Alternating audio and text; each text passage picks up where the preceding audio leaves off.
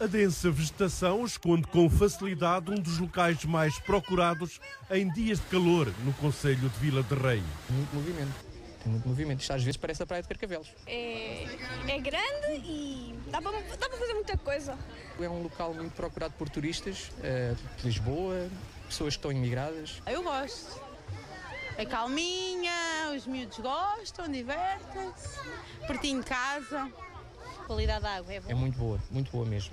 A água está sempre corrente, é uma ribeira que não chega a secar no verão, temos sempre água. Este, e, sinceramente, é como vocês veem, a praia está, está bastante composta. O chão da ribeira foi regularizado, foi construída uma represa, a praia ficou extensa e pouco profunda e enquadrada numa paisagem deslumbrante. Descemos o Zézer, tem lá várias, várias atividades, descida do, do rio, depois também temos paintball e penso que seja assim. Estes caminhos pedestres também são muito engraçados. É pá, isto é um lugar muito, para, além de mítico, eh, tem uma natureza fabulosa. Temos trilhos, temos quedas de água e depois temos esta água bastante transparente, cheia de peixes. Mas gosto do ambiente com os peixes.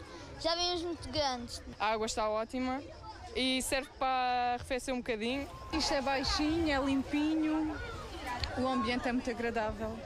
As famílias com, pronto, com as crianças e é assim uma, uma paisagem fantástica mesmo.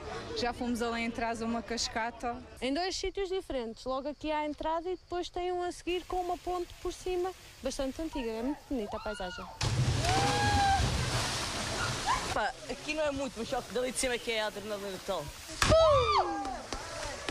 Epá, eu no ano passado saltei, este ano não saltei.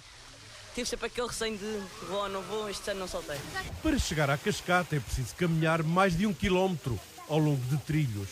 Tudo isto faz parte da zona envolvente da praia fluvial do Penedo Furado, em Vila de Rei, onde uma pequena ribeira foi aproveitada para um local único de lazer.